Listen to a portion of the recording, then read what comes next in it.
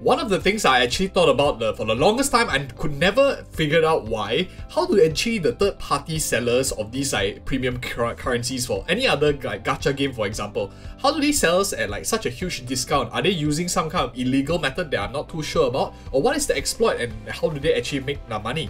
Uh, I this one was actually credited to you guys. Uh, some of you very very supportive members of the community. I did my previous video talking about which is like the most efficient pack to buy in terms of the dollar is to the amount of uh, currency that we get. This video is really a follow up to that based on the comments that I've read as well. Uh, how actually some of you are saving a lot of money for yourself if you are paying uh, any money through the shop as well.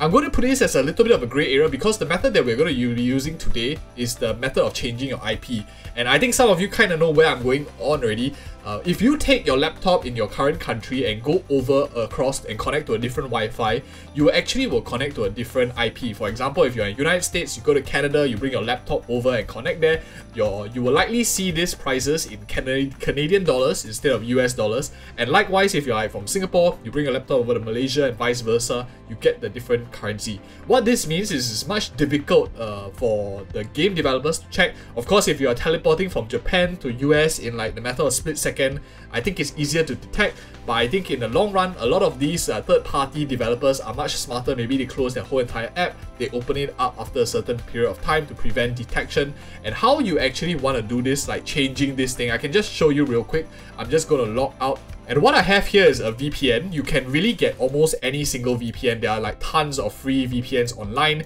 You can just search it up. Uh, I'll advertise like whatever I'm using towards the end. I don't want to like, bore you with a lot of stuff. So what I'm going to do is I'm just going to basically switch over to Malaysia real quick uh, using this VPN. Just do a quick Google search like free VPNs to use if you uh, don't care too much about security or anything. And uh, now you can see I'm connected to Malaysia and let's hop back in and you will see the screen that was available now. So as you can see that took a little while to register and loads and now we are in Ringgit. As you can see here, the Malaysian Ringgit, the currency in Malaysia as well. Go towards the Oneiric pouch, the exact same rate. So if we take like the most expensive pack here, the 99.9 uh, US dollar one and we convert it actually, just ignore this part here, the screenshot doesn't update. We focus on these two numbers here.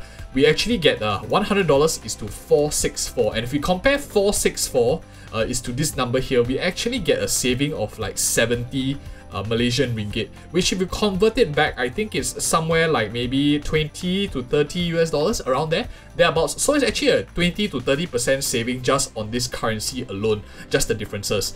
Uh, some of you quicker ones might be smart to notice like uh, how do you actually like if you put pay with your credit card or your debit card you're still going to get a conversion through your bank and they might not charge you the rates that you see as we saw in the screenshot in like google uh, finance for example like searching out on the google uh, on google search as well. So i'm going to actually be sharing with you the second tip on how you can actually combo both together to guarantee yourself the savings and maximize the savings. And that trick actually comes with using an international wallet that anyone can do for free. Is by an international company called wise Okay, now we can see in this uh, video here, I don't have any Malaysian ringgit at all. What I'm going to do is I'm just going to top up uh, for the sake of this video as well. I'm going to show you, and you can see, there are some transactions I did in the past as well for some other game that I cover on my secondary channel. I'm going to hit and add in and I'll show you the conversion as well for using this Wise app. Okay, so now very quickly, I just topped up the amount in my Wise card. I have uh, almost 400 Malaysian ringgit.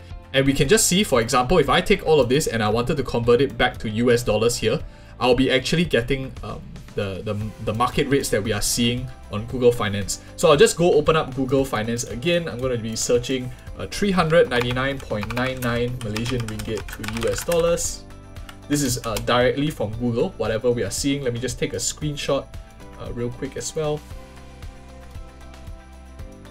So as we can see, like I'm taking this from Google Finance. Uh, it's pretty much the same It's almost uh, exactly what we are getting. If you were to use a credit card, you probably will get a much a hefty uh, fee. The difference here is one US dollar. You're getting one dollar less, but of course you save a lot more. So as you can see, the their fee here they charge you about uh, 2.58 which is about 50 cents to one dollar US dollar. I think it's very worth it considering uh, the amount of savings that you get. These are actual rates that are available.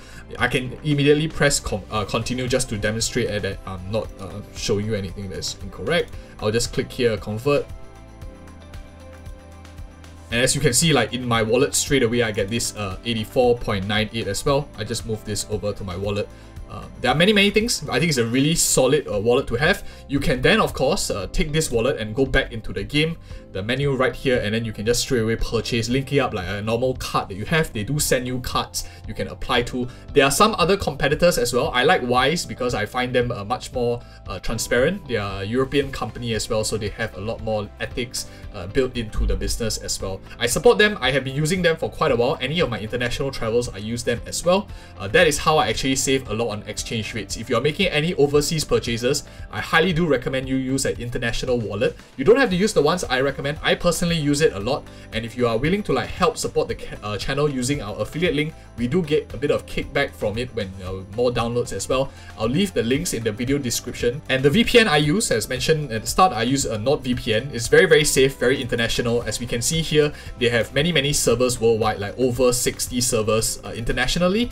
Uh, it's very solid. You might have to pay a bit of fee, but uh, they do offer you a lot of security as well because your search history or whatever you want to do on uh, the, using the VPN, they don't save it. Some people, I think, were taken to court and the, the courts couldn't extract information. That's how good the security is on this uh, platform. They have a bit of like malware detection as well. Very, very fast, very good response. I've been using it for almost two to three months. Uh, well, I, I started it, started downloading it for Blue Protocol to play, uh, to, to proxy through Japan as well. So that is also very useful if you want to play any overseas games that are limited in like Japan or maybe US and stuff like that. I think it's something worth considering. Uh, I don't swipe on my main account in case any Hoyoverse employees are looking at. Uh, if I did swipe on my sub accounts, I think that uh, I would get the feedback or the, the price of the subscription within three swipes or so. Uh, so I do think it's a lot of return, especially since it's a two-year plan that I subscribe on. I think it's very solid. If you are willing to support the channel, you want to do this method as well and save some money, do consider giving us a bit of kickback. You don't have to, but it'll be really nice if you supported the channel too.